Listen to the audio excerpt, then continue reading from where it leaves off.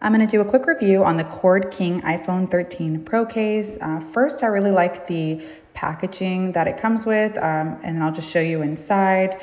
Uh, it was a nice touch that they included a, a thank you note, also how to find out which model iPhone you have, um, and then a couple uh, cute stickers, which my kids loved. I ordered the teal color, and I'm really happy with the way that it looks and also how lightweight it is, um, but it feels very durable, which is uh, really nice.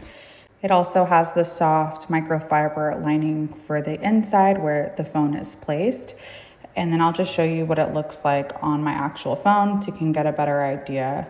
Um, so here's the back. It still feels very um, thin in uh, like the iPhone, uh, which again was an added bonus for me. So I definitely recommend if you're looking for a very slim uh, protective case for your iPhone 13 Pro, recommend you check this one out.